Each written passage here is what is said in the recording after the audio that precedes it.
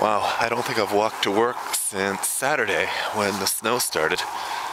And uh, well, today I was up 20 minutes before the alarm, so I have a nice early start. And uh, thanks to the touch covering my evening classes, I should have a fairly short day today. Should be done by about 1 o'clock.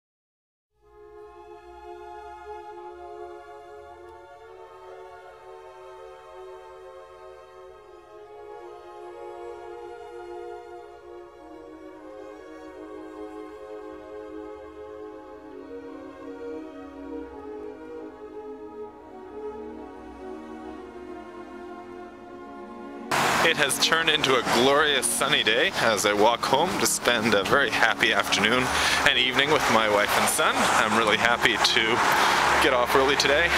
I did the 10k row earlier. Didn't hit it too hard, just focused on getting it done. I haven't eaten yet today.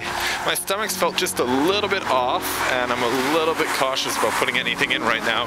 I was talking with Adventure earlier and she definitely has some kind of a stomach bug. I don't know if that's something going around. I feel okay, I'm just not so certain that food's a good idea yet. Though I am starting to get hungry, I might try it once I get home.